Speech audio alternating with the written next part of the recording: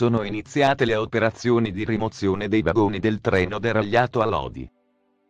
Il convoglio verrà portato in riparazione per poi essere rimesso in uso. Sono stati rimossi i primi due vagoni del treno deragliato a Lodi. L'incidente si è iniziata la rimozione dai binari del treno deragliato a Lodi, il Frecciarossa 1000 il 6 febbraio scorso. L'incidente sarebbe stato sviato dai binari per cause ancora da accertare. Il convoglio è poi finito contro un carrello presente sul binario parallelo per poi schiantarsi contro una palazzina delle ferrovie. Il treno era partito dalla stazione di Milano Centrale alle 5.10 e sarebbe dovuto arrivare a Salerno alle 11.20.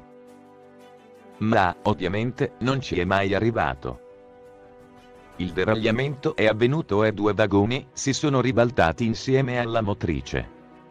30 feriti gravi due macchinisti morti per l'impatto. In corso la rimozione ed il ripristino della linea. Gli operai sono stati impegnati nella rimozione dei primi due vagoni, per cercare di ripristinare, quanto prima, la linea ad alta velocità. I vagoni rimossi sono stati messi sul trasporto eccezionale che li porterà in riparazione. Un centro di recupero specializzato si occuperà della riparazione dell'intero treno. L'obiettivo è quello di far tornare sui binari il treno. Un problema non trascurabile, in questi giorni, è quello dei curiosi.